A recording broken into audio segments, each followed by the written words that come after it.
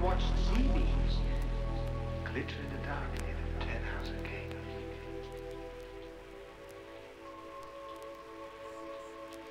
All those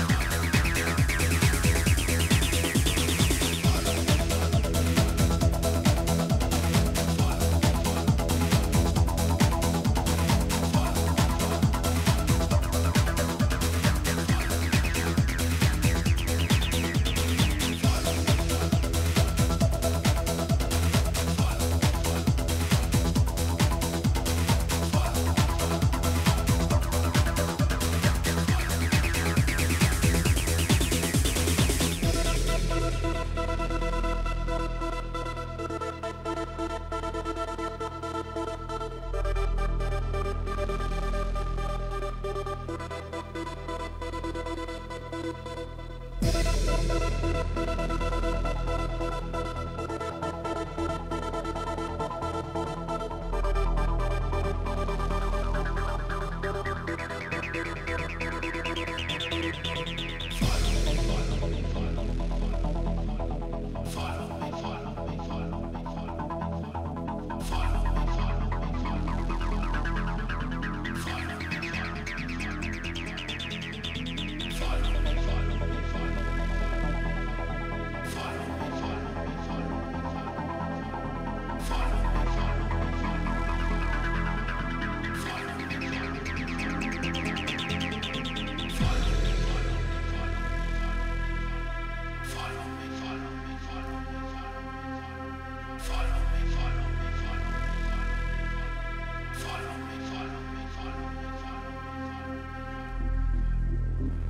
Thank